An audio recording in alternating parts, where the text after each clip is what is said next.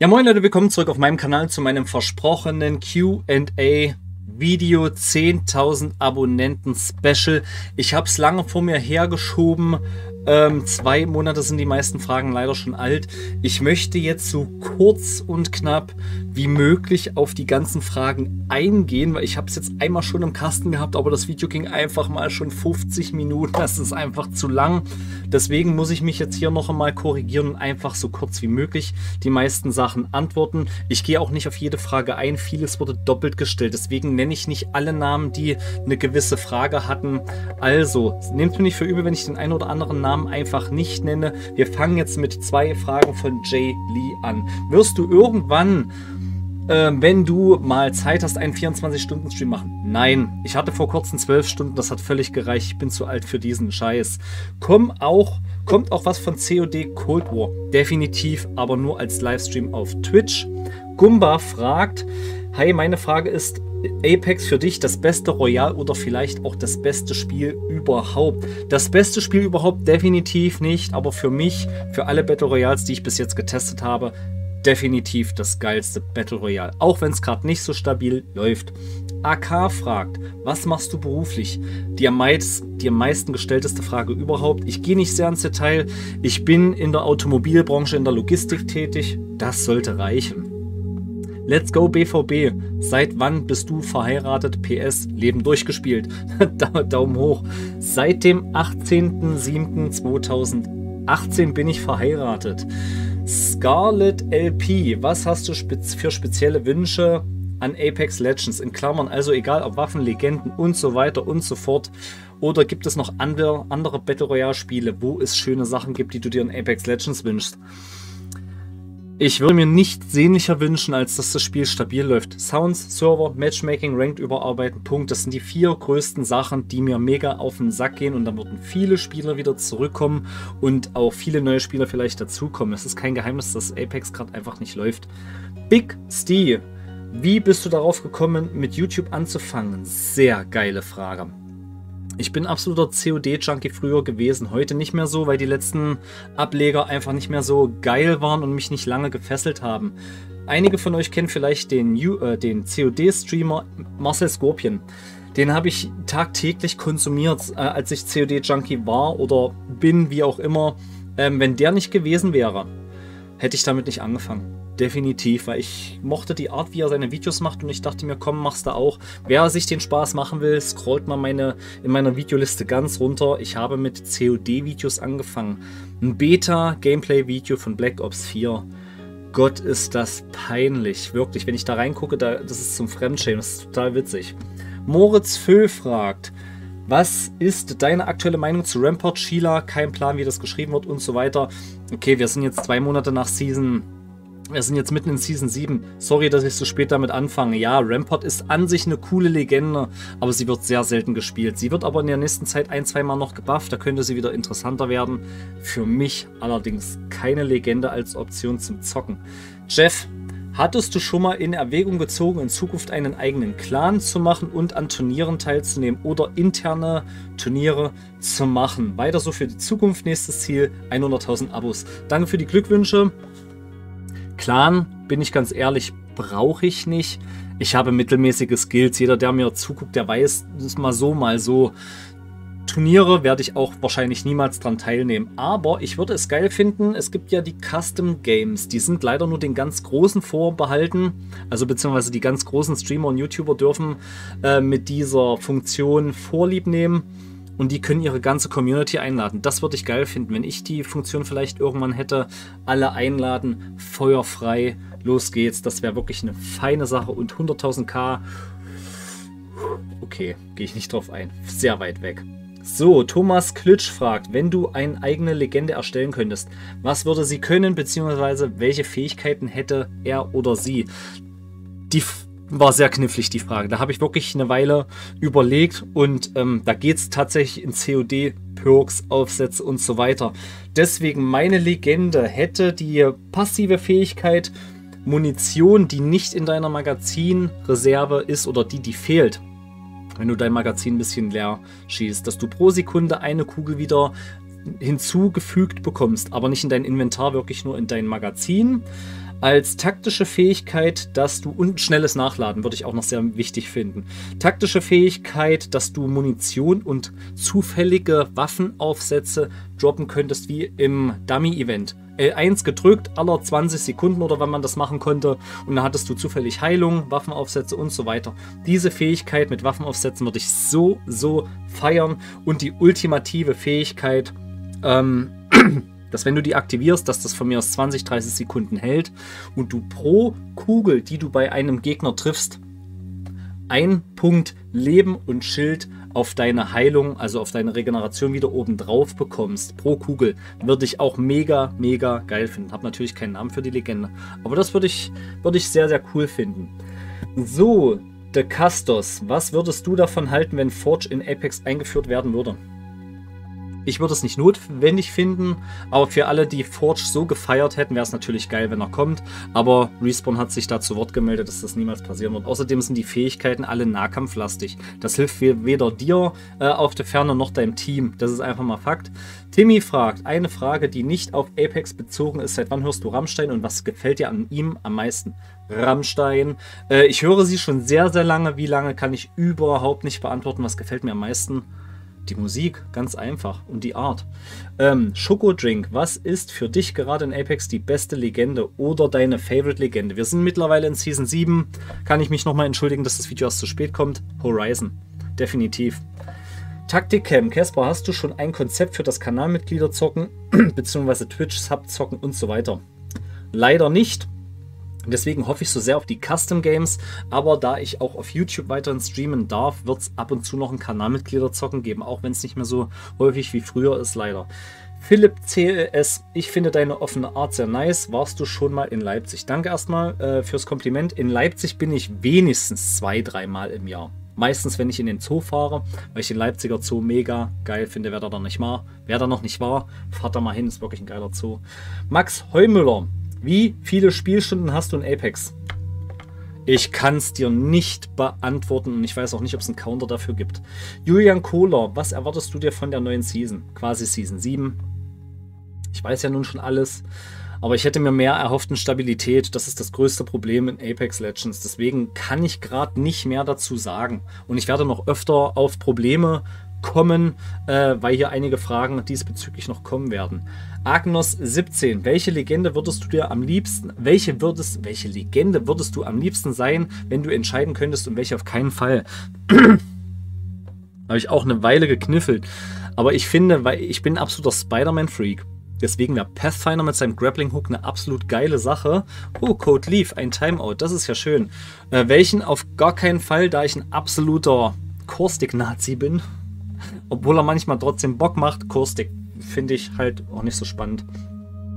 So, Wraith, meine Frage, was hättest du für eine Vorstellung von deiner eigenen Legende und Waffe? Eigene Legende habe ich schon erzählt, Waffe.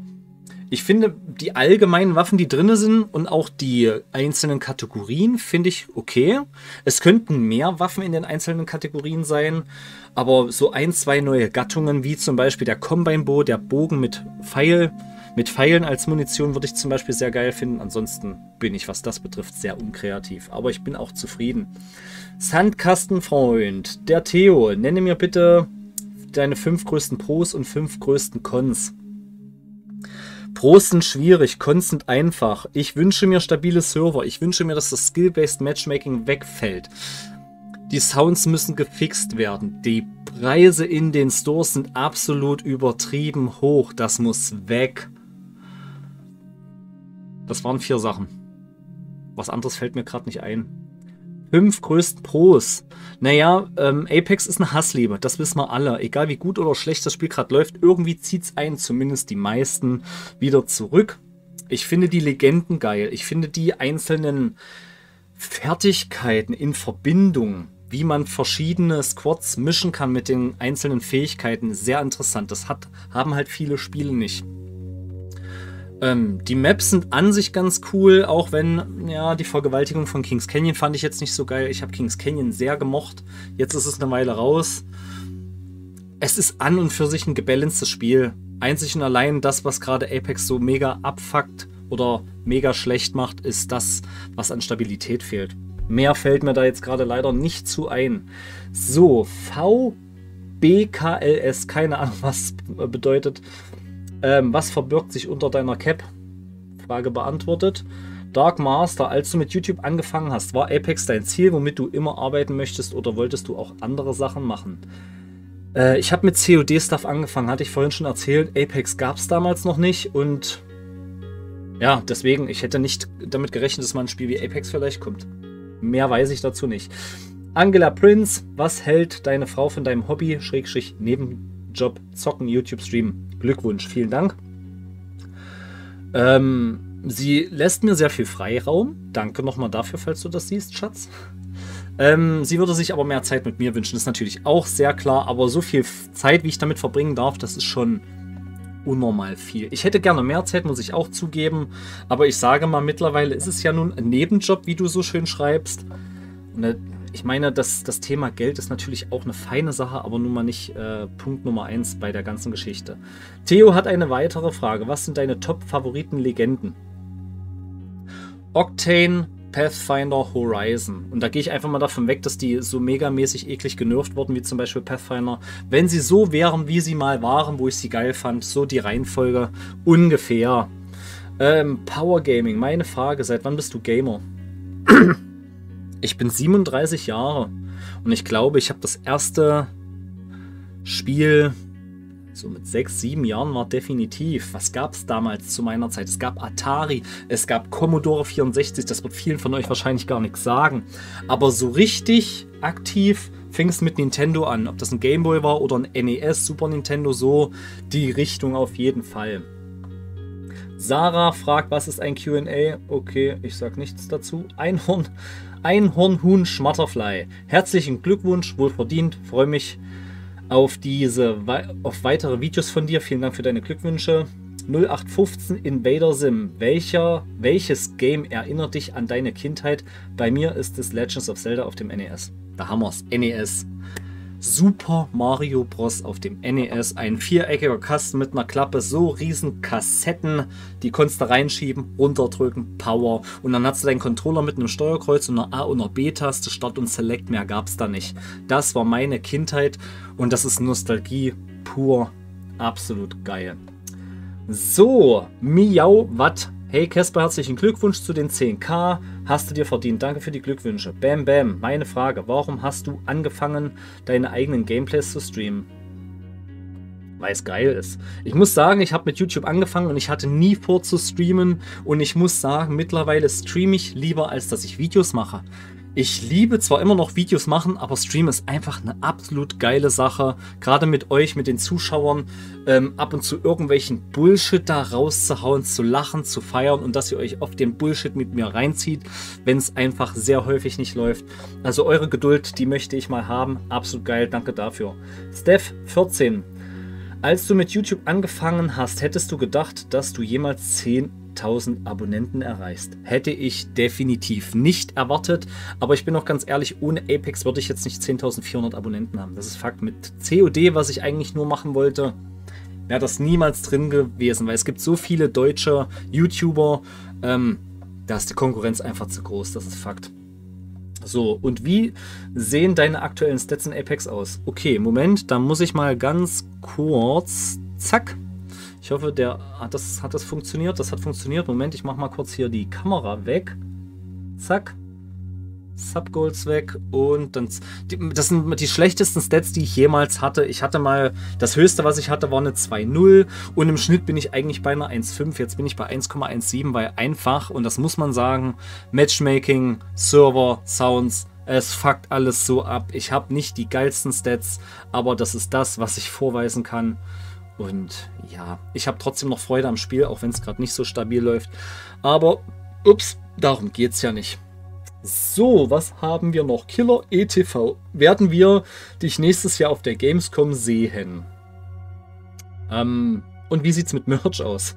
Merch habe ich gleich noch. Ich fange mit dem Merch an, sonst vergesse ich das. Ich wurde tatsächlich bei 200 Abonnenten mal gefragt, hast du dein eigenes Merch? Da dachte ich mir, wie arrogant kann ein YouTuber sein, mit so wenig Abonnenten Merch zu machen? Auch 1000 Abonnenten und Merch.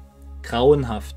Bei 10.000 habe ich mir immer gesagt, wenn Merch, dann mindestens 10.000 Abonnenten, nicht vorher. Aber ich finde, das ist immer noch ein Thema, was Zeit hat. Ähm, und Gamescom, ich hatte tatsächlich, ihr alle kennt das Cat Show wahrscheinlich, mit dem bin ich im regelmäßigen Kontakt über WhatsApp. Wir hauen uns gegenseitig die Sprachnachrichten um die Ohren. Und wir hatten die Idee tatsächlich, uns auf der Gamescom mal zu treffen und gemeinsam da irgendwo ein bisschen rumzulaufen, um mal zu gucken, was passiert. Aktuell nicht möglich. Ob das irgendwann mal passiert, das lasse ich offen, weil ich weiß, die Gamescom ist immer sehr voll und ich mag Menschenmassen nicht. Ich hasse es, wenn es zu viele Gedränge wie auf dem Weihnachtsmarkt. Ich hasse das. Ich bin gerne draußen, ich bin gerne aus an der Luft, aber ich hasse große Menschenmassen. Zu viel Gedränge, kriege ich Aggression, kriege ich da. FNG Goatman, herzlichen Glückwunsch zu den 10k. Mich würde es interessieren, deine Lifetime-Stats, das hat man gerade. Chrissy K., hattest du, hast du Stress mit Streamen ähm, und wie bekommst du Frauenjob und so weiter unter deinen Cap? Stress nicht, ich habe wirklich viel Zeit, die mir meine Frau gibt. Stress ist es immer nur dann, wenn eine neue Season kommt. So, eine Woche vor und eine Woche nach einer neuen Season ist immer sehr stressig. Da gibt es viele Videos. Du kommst kaum zum Zocken selber. Hast viele Videos, die du machen willst. Wenn die neue Season da ist, willst du viele Videos machen. Kommst kaum zum Zocken. Und wenn du dann noch eine scheiß Schicht auf Arbeit hast, dann ist es richtig stressig. Aber ansonsten habe ich eigentlich keinen kein Stress. Ähm, ja.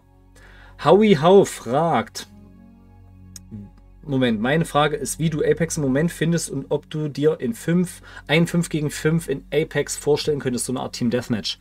Aktuell fuckt mich Apex ehrlich gesagt mega ab. Ich spiele es zwar noch gerne, aber bekannte Probleme, Matchmaking, Server, Sounds und so weiter und so fort. Und ein 5 gegen 5 Team Deathmatch oder von mir aus auch größer könnte ich mir absolut vorstellen und es kann sein, dass wir tatsächlich in Season 9 so etwas bekommen. Das einfach mal nebenbei. Ich würde es auf jeden Fall mega feiern. Max D. Denkst du, dass sich mit Season 7 die Spielerzahlen in Apex wieder verbessern werden oder man weiterhin im Pubs auf 20 Bomb, 4K Damage Leute trifft und so weiter? Ja, Season 7, wir sind mittendrin. Split 2 ist mittlerweile auch schon am Start. Wir haben die Hälfte von Season 7 schon weg. Die Spielerzahlen sind dermaßen nach hinten wieder oder nach unten geschrumpft und das Matchmaking ist schlimmer denn je. Also Frage, denke ich, beantwortet und auch der Hype um die neue Map, der ist nach zwei Wochen verflogen. Ganz einfach, weil das Spiel unspielbar war und teilweise hier und da immer noch ist. Gene Drugstory, Glückwünsche. Mehr als verdient bei so viel Arbeit für regelmäßigen Content. Danke dir dafür.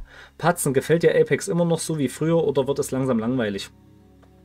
Nach der Vergewaltigung von Kings Canyon und diversen Änderungen auf World's Edge, ich wünsche mir die Standard Kings Canyon Map zurück.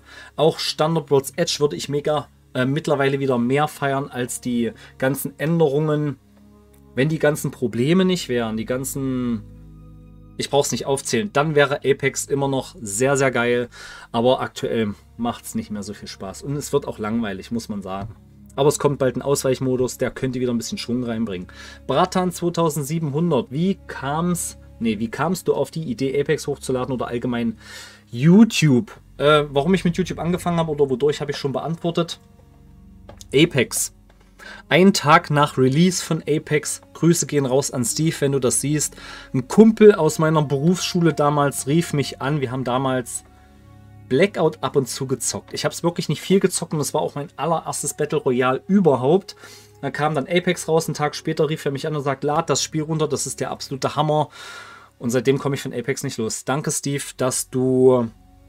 Dank Ihnen habe ich 10.400 Abonnenten, könnte man fast schon sagen. Weil mit an allen anderen Content wäre ich jetzt nicht da, wo ich jetzt bin. So, Wise89, findest du auch, dass Erbstücke mehr Schaden anrichten sollten, zum Beispiel Faust 30 und Erbstück 35 bis 40 Damage? Never, niemals. Das wäre eine Art Pay-to-Win und das wäre schlecht und die Community würde sowas von rumragen und das völlig zu Recht. Pay to Win muss ich dir, glaube ich, nicht erklären, wenn du das siehst. Ähm, Elijah Ox, was fehlt Apex deiner Meinung nach noch momentan am meisten? Stabilität. Alles, alles am Problem. Wenn das weg ist, fehlt nichts, bin ich der Meinung. Dann könnte ich auch auf den Ausweichmodus verzichten. Fire Slayer 06, wie viel Geld hast du schon in Apex? Uh, das ist eine fiese Frage. In Apex gesteckt. Ich muss ein einleitendes Wort finden oder einen einleitenden, einleitenden Satz.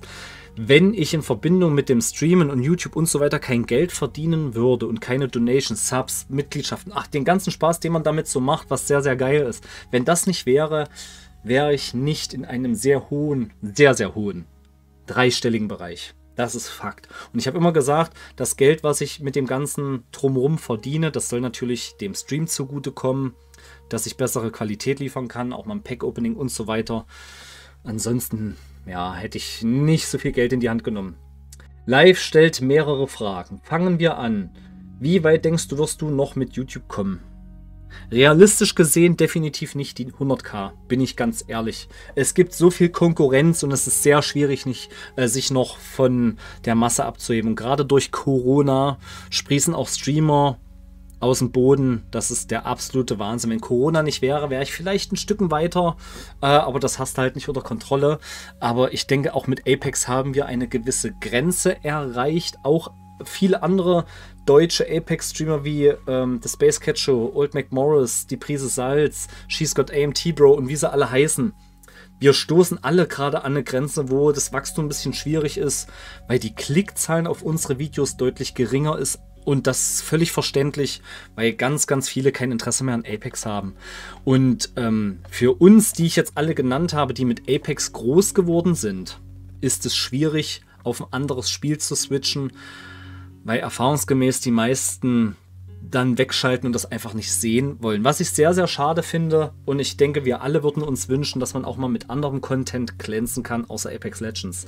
Das einfach mal dazu. Dann kommt noch eine Frage zur Switch. Ich besitze eine, aber Super Smash Bros. finde ich mega, mega langweilig. Denkst du, ich kann irgendwann, denkst du, du kannst irgendwann mit YouTube, von YouTube leben? Da bin ich sehr weit entfernt. Ich muss ganz ehrlich sagen, ähm, mit Streaming und YouTube zusammen ist das realistisch, das vielleicht irgendwann zu erreichen. Aber da sind wir auch wieder beim Thema Corona. Es gibt so viele Streamer mittlerweile, sich da von der Masse abzuheben, ist gar nicht so einfach. Mario Kart, Livestream. Machen wir irgendwann. Und ähm, ja, 100.000k, da gehe ich gar nicht drauf ein, weil das ist ein Ziel sehr weit weg. God of Konoa. Wieso heißt du auf YouTube so, wie du heißt? Obwohl du Tobias heißt oder Tobi. Und wofür steht die 1010? Die 1010 ist ganz einfach. Eigentlich ist meine Lieblingszahl 10. Casper 10 war schon vergeben. Und ach, was es da nicht alles für Vorzeichen gab. Und irgendwann ist es aus der 10 eine 1010 geworden. Und Casper, eigentlich aus einer dämlichen kindischen Situation. Es gibt einen Film, der heißt Kids. Das ist eigentlich einer der asozialsten Filme, die es überhaupt gibt. Er ist aber trotzdem geil. Und da gibt es einen, der heißt so und irgendwie hat sich das im Freundeskreis so ergeben. Ich denke, das muss reichen. The Space Cat Show fragt, was findest du momentan in Apex am besten und was findest du am wenigsten gut?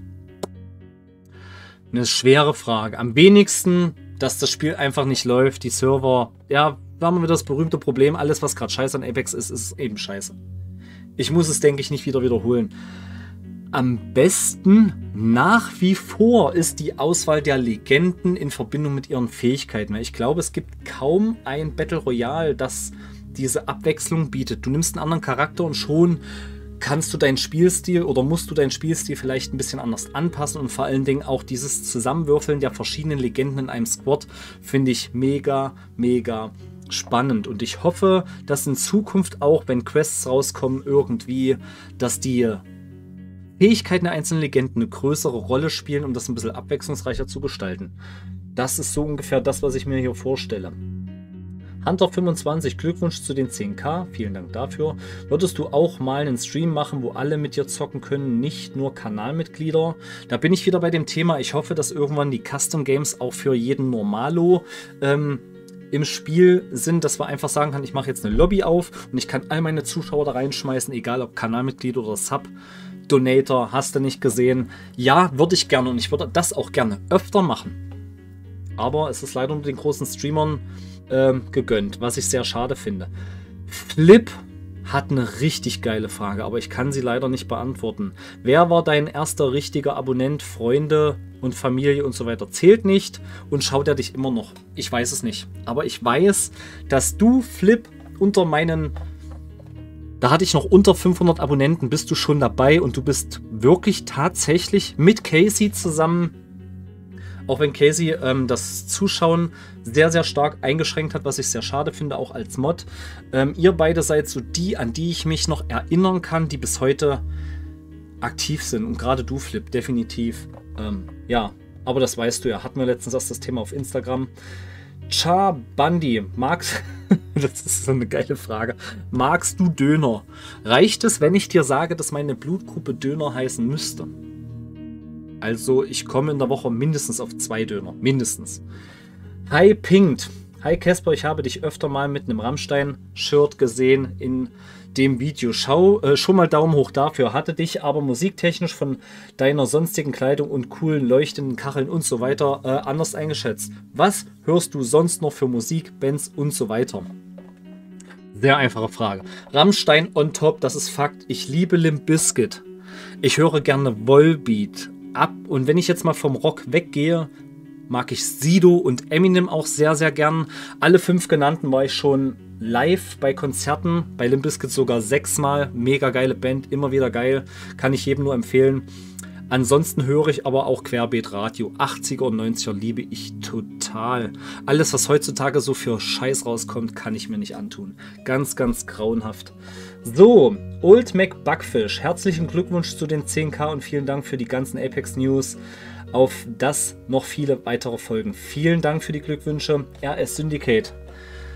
Du Ratte, sage ich dir nur. Wann grillen wir zusammen? So, okay. Vorgeschichte RS Syndicate ist der beste Kumpel von meinem Stammbild Schweini, auch ein Kumpel von mir. Wir wollten lange mal bei mir äh, grillen. Ich habe es bis heute nicht geschafft. Tut mir leid, wir schaffen das schon noch. Just Craft LP Community Treffen Fragezeichen. Kürzeste Frage von allen. Ich weiß es nicht, muss ich ganz ehrlich sagen. Und ich bin auch so bescheiden und sage, ich kann mir nicht vorstellen, dass von meinen 10.000 Abonnenten sich überhaupt so viele auf den Weg machen würden, dass sich das nicht unbedingt lohnt. Aber ich stelle mir vor, ich kann, ich kann mir nicht vorstellen, dass jemand sich einen Anfahrtsweg von 200, 300, 400 Kilometern macht, nur um mich zu sehen. Never kann ich mir das vorstellen. Bin ich, weiß ich nicht, bin ich zu bescheiden, glaube ich, für. Aber natürlich wäre es geil. Es wird sich, glaube ich, cool anfühlen, wenn die Leute extra wegen dir irgendwo zu einem Punkt A in Deutschland sich zusammenfinden. Wären schon krass. Und wenn vielleicht dann tatsächlich doch auf der Gamescom, wo vielleicht einige von euch sowieso hinfahren, dann wäre das eine coole Nummer. Ähm, Gamma Ray. Mich würde interessieren, welche Spiele dich welches Spiel dich entjungfert hat im Sinne von erster Ego-Shooter.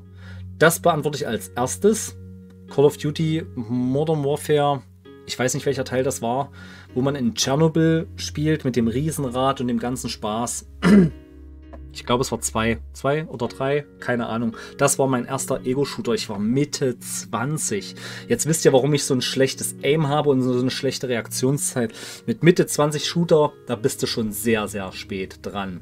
So, was fragt er noch? Oder auch allgemein, mein allgemeines erstes Spiel.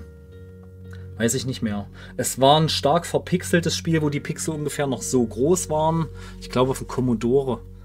Oder was das NES? Hatten wir vorhin schon das Thema. Es könnte auch Mario Brothers gewesen sein auf dem NES. Ganz genau weiß ich es leider nicht mehr. Ich bin halt schon alter Sack.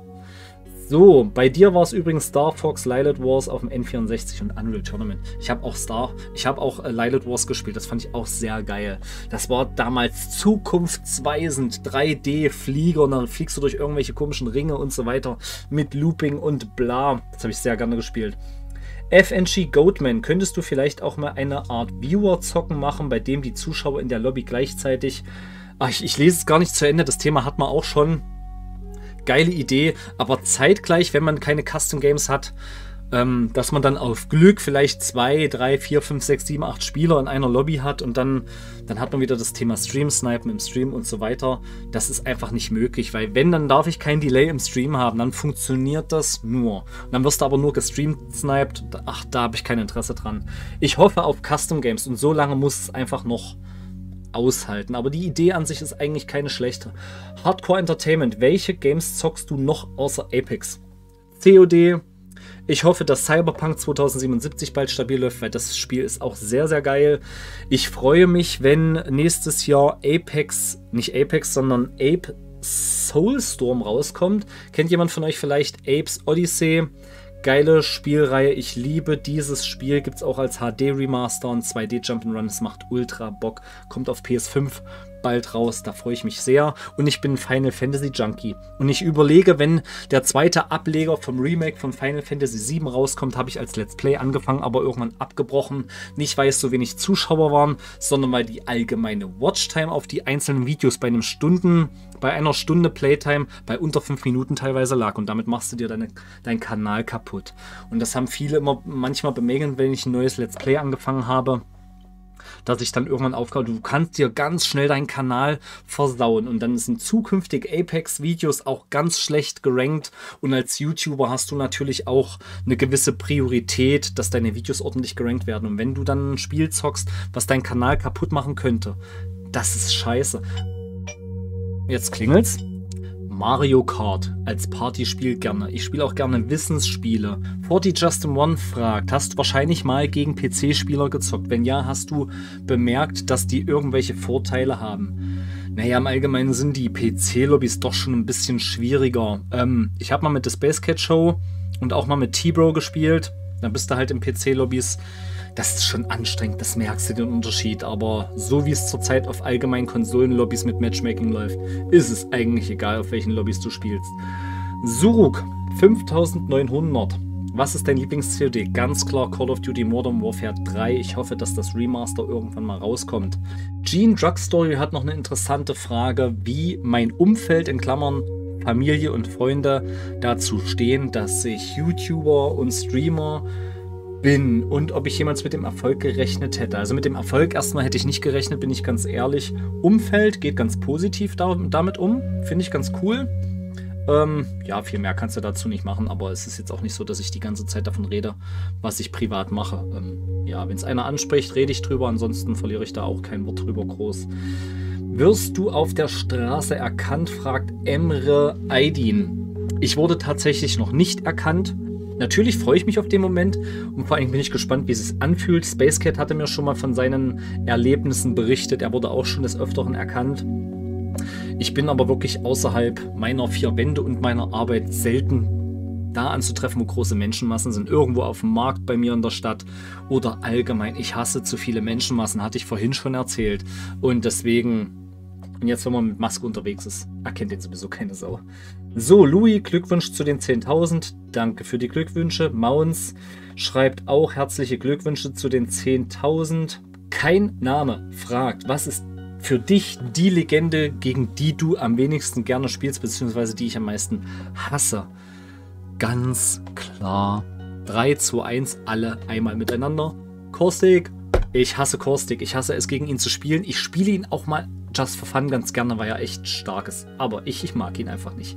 TobyTube101 schreibt, denkst du, dass Apex Legends zum besten Battle Royale ever wird, wenn Respawn mal was gegen die ganzen Probleme machen würde oder es irgendwie hinbekommt? Definitiv. Also das ist meine Meinung, aber ich denke, stell diese Frage mal einem Fortnite-Spieler, der wird genau das Gegenteil von mir behaupten, logischerweise.